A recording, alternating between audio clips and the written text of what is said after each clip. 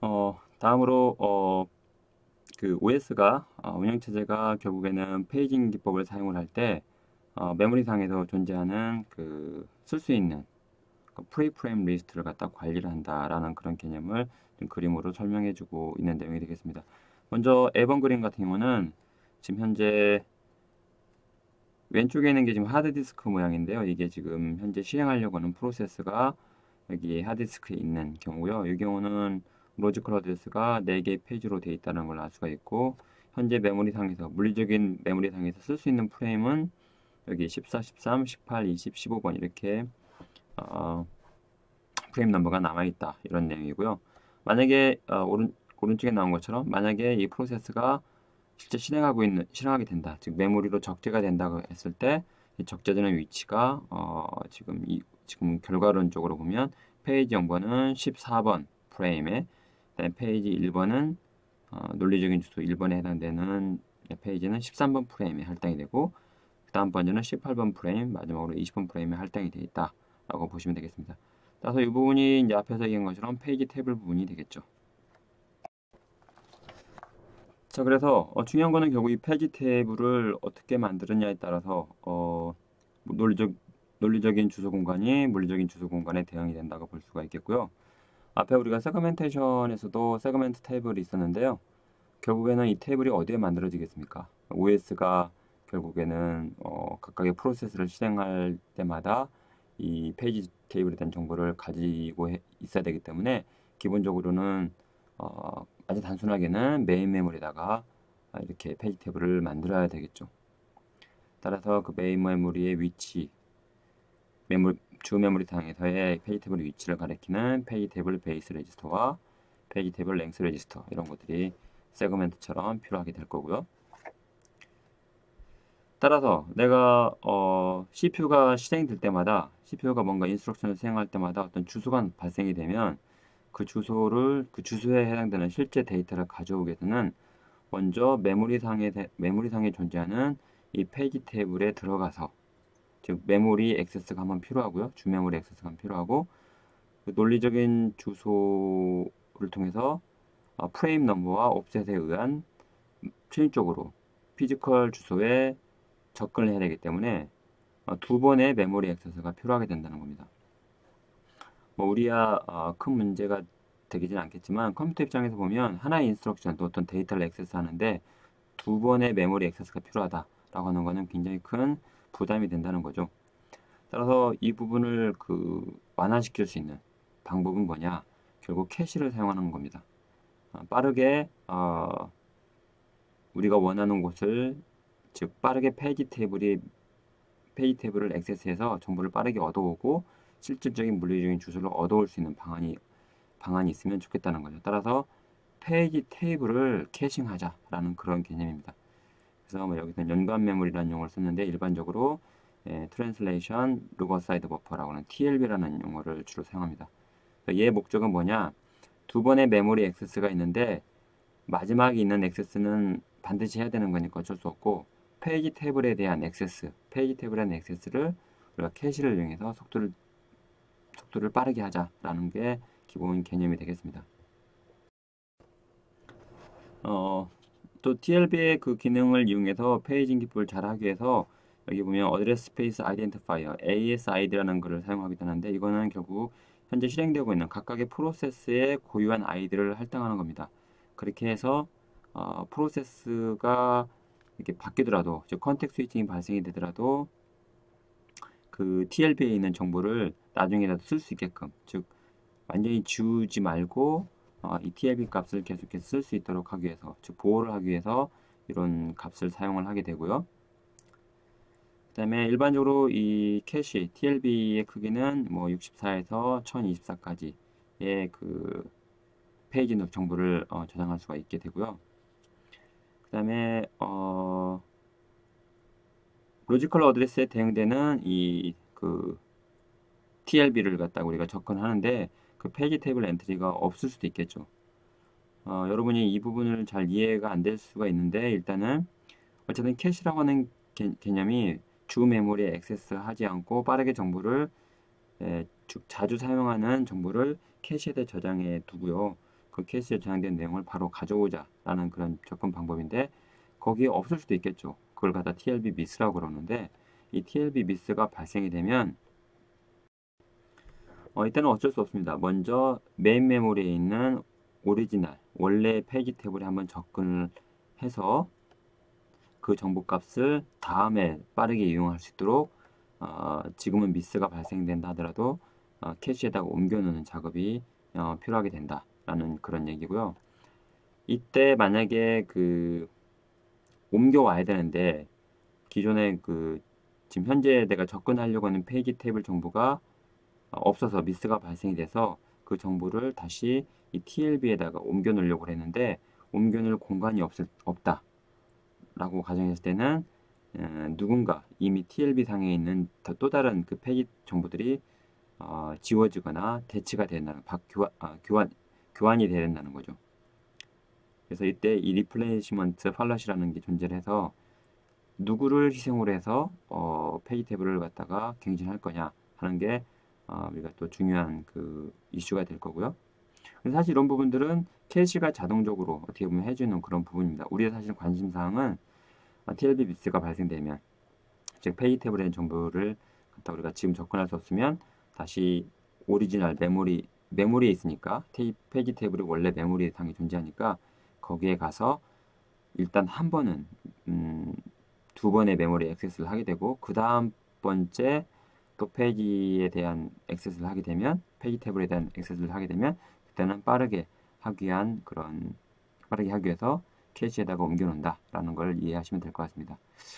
어떤 경우는 어, 페이지 리, replacement 아니 그 TLB에 대한 그 엔트리가 어, 교환되지 않는 않고 고정적으로 있는 경우도 있다. 이런 경우는 wired down이다. 뭐 이런 식으로 어, 그 사용이 되는 경우도 있습니다. 이런 경우는 어떤 뭐 OS에 관련된 페이지나 이런 것들은 replacement 대상이 되지 않도록 하겠다는 거죠.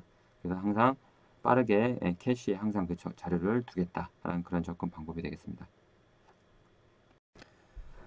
자, 연관 메모리에 대한 즉 TLB에 대한 내용을 좀 더 살펴보면 병렬 searching이다. 즉 뭐 이거는 개념적인 내용인데 어쨌든 어, 페이지 넘버를 집어넣으면 바로 프레임 넘버에 그에 대응되는 프레임 넘버를 바로 얻어올 수 있다라는 그런 개념이 되겠고 프레임 넘버가 대응되는 프레임 넘버 바로 있으면 이건 히트다. 캐시 히트가 된 거고요. 없는 경우는 미스가 발생이 됐다. 라고 하는 겁니다. 따라서 미스가 발생된 경우는 앞에서 얘기한 것처럼 그 페이지 테이블에 있는 실제 메모리에 접근을 다시 해야 된다. 그래서 그 프레임 넘버를 가져와야 된다. 라는 그런 내용이 되겠습니다. 자, 정리하는 의미로 한번 보면 자, 현재 CPU는 어떤 특정한 프로세스를 실행하고 있습니다. 따라서 실행하는 도중에 logical address를 만들어낼 수가 있고요. 그 logical address는 페이지 넘버와 offset 부분으로 구성이 되어 있습니다. 따라서 페이지 넘버에 의해서 우리가 페이지 테이블을 참조를 해서 프레임 넘버를 얻어와야 되는데 아, 이게 아까 제가 두 번 액세스, 메모리 액세스가 필요하다고 했기 때문에 이걸 완화하기 위해서 줄이기 위해서 이 캐시라는 개념을 사용을 하게 된다라고 했고 그 translation look-aside buffer에 그 정보들을 미리 넣어놓으면 또는 아, 필요할 때마다 넣어놓으면 우리가 빠르게 병렬적으로 지금 searching이 가능하다고 그랬기 때문에 페이지 넘버에 대응되는 값을 어, TLB 히트를 통해서 바로 얻어와서 physical 메모리 어드레스 액세스가 가능하다. 따라서 액세스 속도를 굉장히 많이 줄일 수 있다. 뭐 이런 내용이 되겠습니다. 만약에 어, 페이지 TLB를 액세스 했는데 그에 대응되는 프레임 넘버를 어, 얻어오지 못했거나 정보가 없게 되면 어떻게 되냐면 반드시 어, 주 메모리에 있는 페이지 테이블에 접근을 해야 되겠죠. 그리고 이 프레임 넘버를 얻어와서 물리적인 액세스, 어, 물리적인 주소를 얻은 다음에 접근을 해야 됩니다. 자, 이때 어, TLB 미스가 발생된 경우는 아까도 얘기했지만 이 정보를 어떻게 해요? 예, 업데이트를 해주면 된다는 거죠. 업데이트를 해주면 다음에 그 다음 번째 어, 이 logical 어드레스가 나올 때는 바로 히트가 돼서 어, 주 메모리에 접근이 가능하다라는 그런 개념이 됩니다. 어, 여러분도 프로그램을 우리가 작성해봐서 아시겠지만 프로그램이라고 하는 것이 결국에는 어, 어떤 한 부분이 실행이 되면 바로 특정한 영역으로 바로 점프해가 다른 영역을 실행하는 경우보다 순서적으로 이 instruction이 순서적으로 실행되는 경우가 있고요. 또 때로는 어떤 루프를 만나서 그 루프 내에서 instruction이 연속적으로 계속 실행이 되는 이런 경우를 우리가 경험적으로 우리가 볼 수가 있는데요. 어, 이게 프로세스 실행의 어, locality, 지역성이라는 그런 특성을 보인다는 거죠. 프로, 프로세스가 실행이 될 때 어떤 특정한 지역성, 즉 연속된 메모리 공간에서 연속해서 계속 실행이 된다. 따라서 우리가 페이지 크기를 일정한 크기로 우리가 페이지 크기를 나눠서 프로세스를 저장하게 되면 페이지의 정보를 한번 우리가 캐시에다 올려놓으면 그 다음 주소, 그 다음 메모리 주소를 액세스할 때는 이 페이지를 어, 연속해서 액세스할 가능성이 많다는 겁니다. 그리고 결국 어, 페이지 관리를 페이지에 대한 그 연관 메모리를 잘 관리를 하면 이 히트 ratio 페이지에 대한 그 TLB 연관 메모리에 저장되어 있는 그 페이지 정보를 히트를 많이 시킬 수 있다 이런 그런 개념이 되겠습니다. 그래서 목적은 가능하면 이 히트 rate를 갖다가 높이는 것이 목적이고요. 일반적으로 캐시로 사용되는 연관 메모리는 굉장히 액세스 타임이 굉장히 작다. 이렇게 약간 랜덤 액세스 메모리의 10% 10, 속도의 10, 10%도 안 된다라고 하는 그런 전제하에서 어, 사용이 되고요. 자, 이럴 때 한번 계산을 해보겠습니다. 히트 ratio가 한 80% 정도, 약 80% 정도 우리가 히트를 한다. 그리고 입실론, 즉 asso, 그 연관 메모리에 액세스하는 시간은 20nanosecond 정도 된다. 그리고 실제 메모리에 액세스하는 시간은 약 100nanosecond 정도 걸린다. 이렇게 봤을 때 어, 실제적으로 우리가 그 평균 이 정도 히트를 하니까 실제 우리가 paging 기법을 썼을 때 메모리에 액세스하는 그 effective 액세스 타임은 얼마 어느 정도 되겠느냐 이렇게 지금 수치적으로 나와 있는데 어, 1 플러스 입실론이라고 나와 있는 부분은 뭐냐면 0. 즉 80% 정도 히트하는 경우 히트하는 경우는 20nano 20nano second와 약 여기 1을 100nano second에 대응되는 값으로 보시면 되겠습니다. 즉 TLB 한 번 액세스와 주 메모리 한 번 액세스 하게 되면 성공한다는 거죠. 우리가 얻고자 하는 데이터를 데이터 또는 instruction을 가져온다는 얘기고요. 어, 80%가 아니고 1-80 그러니까 20%에 해당되는 부분은 미스가 발생된다는 얘기입니다. 20% 정도는 어떻게 하냐? 한 번은 TLB를 검사할 거고요. 나머지 미스가 발생했으니까 최소 두 번의 메모리 액세스가 필요하다. 뭐 이런 내용이고요. 따라 정리해 보면 2 플러스 입실론 마이너스 알파 정도의 effective 어드레스 타임이 필요하게 된다라는 걸로 정리를 해볼 수가 있습니다. 그래서 80%대와 90%대의 그 메모리 액세스 타임을 봤더니 약 한 99% 정도 우리가 히트를 낸다 그러면 평균적인 메모리 액세스 타임은 101 nanosecond. 만약에 캐시를 사용하지 않을 때는 약 200 nanosecond에 비하면 엄청난 성능 향상이라고 볼 수가 있겠습니다. 그리고 80%만 정도 히트한다 하더라도 약 120 nanosecond 정도로 밖에 걸리지 않기 때문에 어, 이 캐시를 사용함으로써 크게 성능이 향상이 된다는 걸 갖다가 우리가 알 수 있습니다. 자, 앞에 그 segment, segmentation 할 때도 뭐 protection을 살펴봤는데 역시 마치 paging 기법에서도 어, protection이 필요하다. 즉 우리가 어, 접근할 수 없는 페이지를 접근하면 안 되겠죠. 그래서 이제 이 protection 비트를 사용해서 어, 쓸 수 있다. 뭐 이런 개념으로 이해하시면 되고 이때 그 비트를 valid, invalid 비트다라는 용어를 사용한다라는 거 뭐 그 정도 이해하시면 되지 않을까 생각이 됩니다. 저희 예가 하나 있는데요. 현재 logical address 영역을 봤더니 그 프로세스 크기가 페이지 6개로 구성이 되어 있다는 걸 알 수가 있는데 페이지 6개 정도 우리가 나타내려면 어, 3비트가 필요하죠. 0부터 7까지 표, 범위 안에 표현되어 있어야 됩니다. 따라서 어, 아니 8비트 아니 8비트가 아니라 8개까지 어, 표현이 가능한 공간이 있다고 보시면 되겠고요.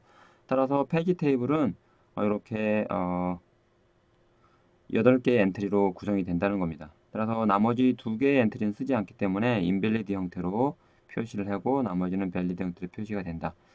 따라서 logical address가 만들어질 때 이 부분을 체크하겠다. 뭐 이런 얘기로 이해하시면 되겠습니다.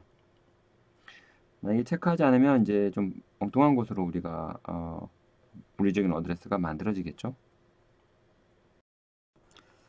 다음으로 어, 페이지에 대한 공유 부분입니다. 앞에서 segment도 공유가 될 수 있다고 그랬는데 여기 좀 보면 어, 읽기 가능한 그런 코드 부분들을 여러 개의 프로세스가 공유할 수 있다라는 그런 개념입니다. 그래서 가능하면 우리가 여러분도 뭐 웹 브라우저를 여러 개 띄워놓고 어, 사용하듯이 여기다 보면 여러 사용자가 똑같은 text editor를 실행해 놓고 뭔가 editing을 할 수 있겠다는 거고요. 컴파일러도 역시 마찬가지. 어, 뭐 이런 경우 어, 공통된 instruction 부분들을 어, 우리가 OS 입장에서 보면 시스템 입장에서 보면 여러 사용자가 같이 쓰고 있다. 그러면 그 코드에 대한 부분을 공유시키겠다 이런 얘기가 되겠습니다. 그렇게 되면 당연히 이제 페이지 테이블만 우리가 잘 관리하면 되는데요. 뒤에서 그 예제는 살펴보도록 하겠고요.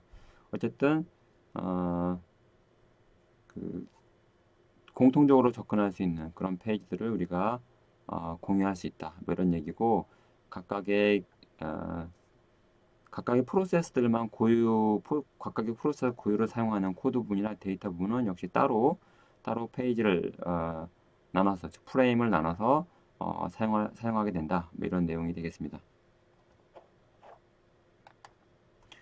그래서 여기 예를 하나 들 수가 있는데 프로세스 1번과 2번과 3번 이렇게 프로세스가 있습니다.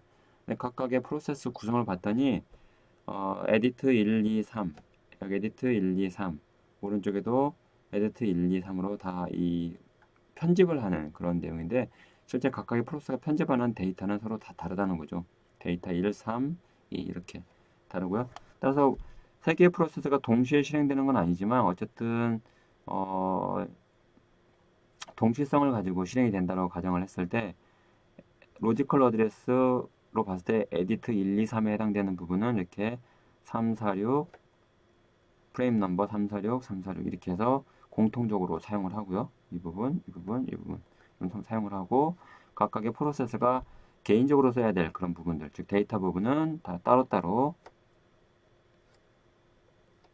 이렇게 프레임 넘버를 어, 따로따로 둬서 페이지 테이블만 잘 관리를 해주면 우리가 어, 메모리를 좀 더 잘 어, 효율적으로 쓸 수 있다라는 그런 개념이 되겠습니다. 자, 이상으로 기본적인 페이지 기법에서 사용되는 여러 가지 이슈들도 어, 어, 정리를 해 보았습니다.